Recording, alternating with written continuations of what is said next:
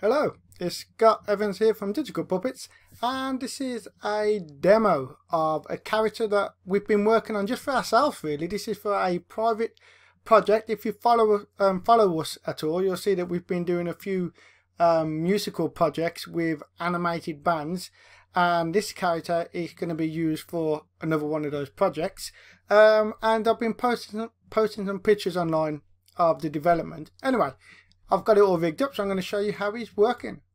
So, hello, there I am. You can see that it is tracking my face.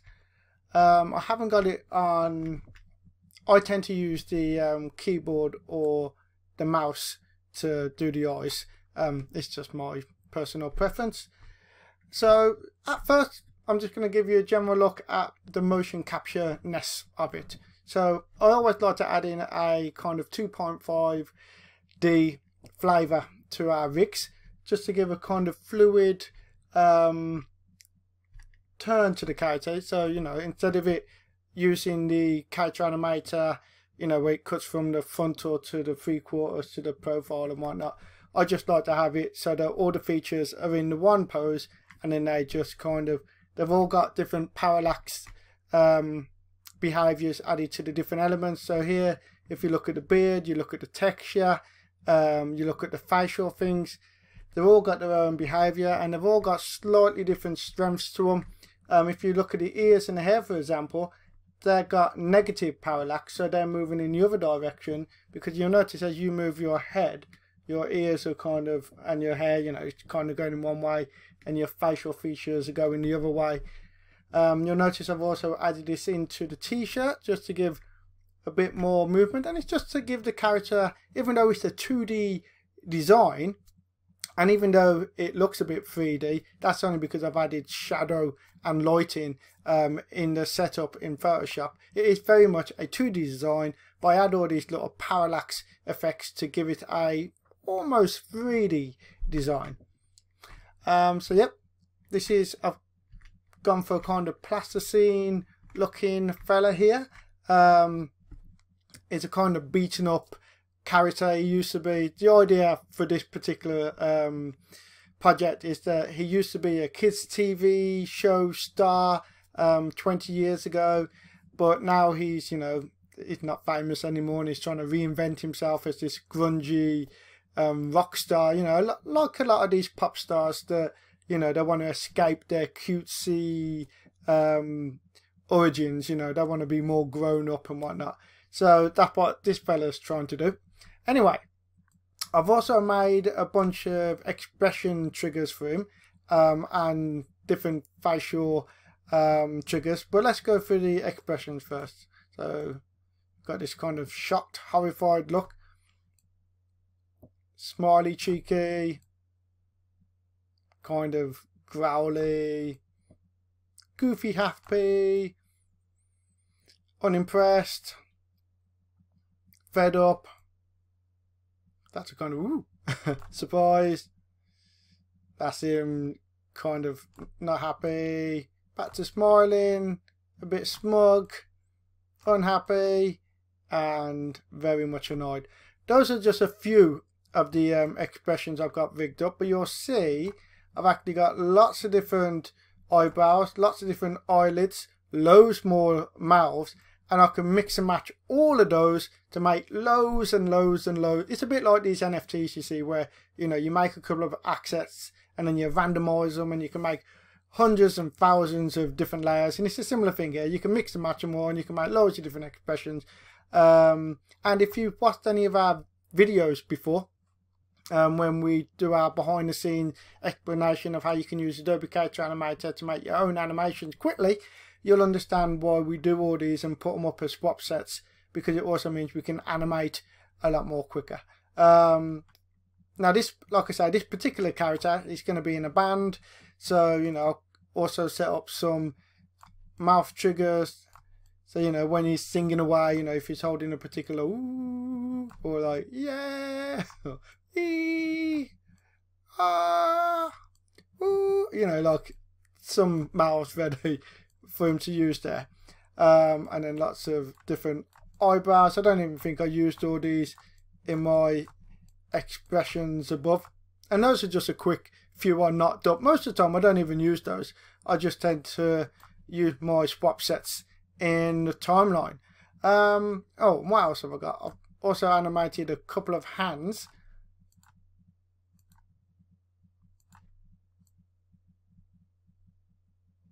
I haven't got the arm replay set up yet.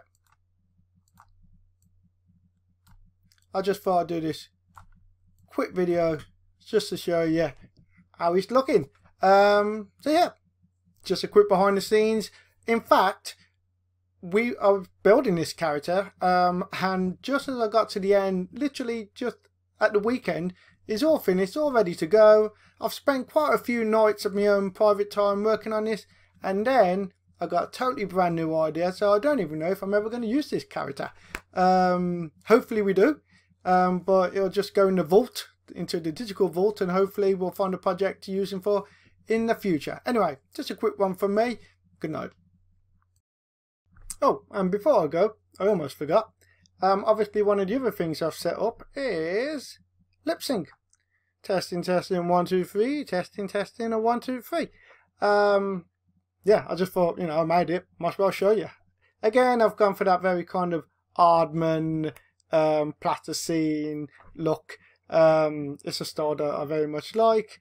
Um, yeah, so like as you know, anyone who um, uses Adobe Character Animator, you can do two things in regards to vocals. You can either lip sync, you know, in real, um, you can talk in real time, record your vocal directly into Adobe Character Animator, and the program will lip sync in real time. Or you can pre-record your audio, which is what we normally would do, and then you can bring it into Adobe Character Animator, and then you can use the automatic lip sync, which works very well. They've also got a new feature where you can um, use SRT um, closed caption um, that you can set up in Premiere, which you can import into the audio file into Adobe Character Animator to make the lip syncing even better.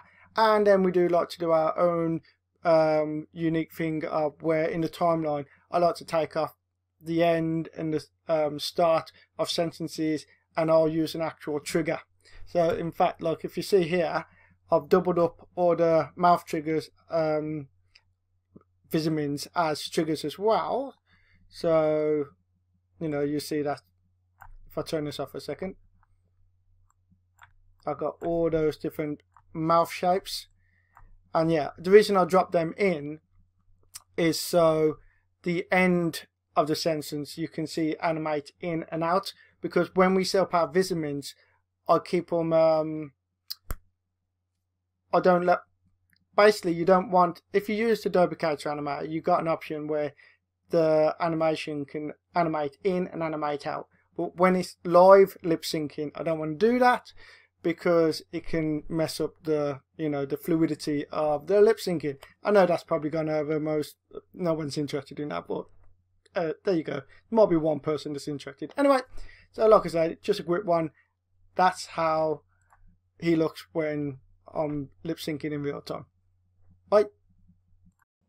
I'm back again. One last thing. I've just realised looking at this, when I'm turning the face, you can see that even though like the 2.5 thing I'm on about, the nose, the facial things and the hair and then uh, you know all this the other, it's all moving except for if you look at the texture on the face that isn't moving. So if I just zoom in, that down a bit, the texture on the face isn't moving and that kind of spoils the whole 2.5D element of it.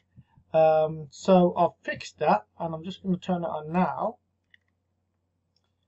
And now when he turns his head, it's a very sort of change, but it does make a big difference. So the texture the plasticine texture is moving with the rest of the face.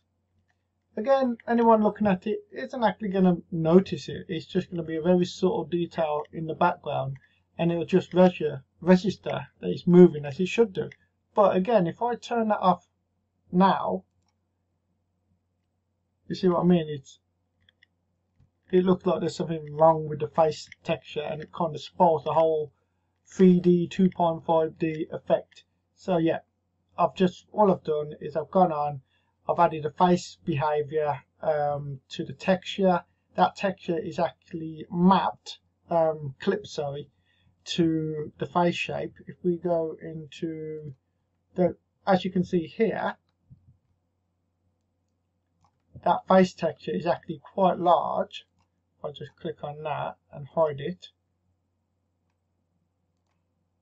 I've got, this is the shape here, which in Character Animator, it is clipped to that face shape.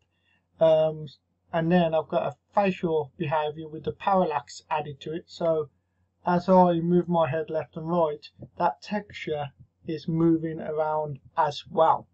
So there you go. That was the last thing I wanted to show you, and that's it. Goodbye.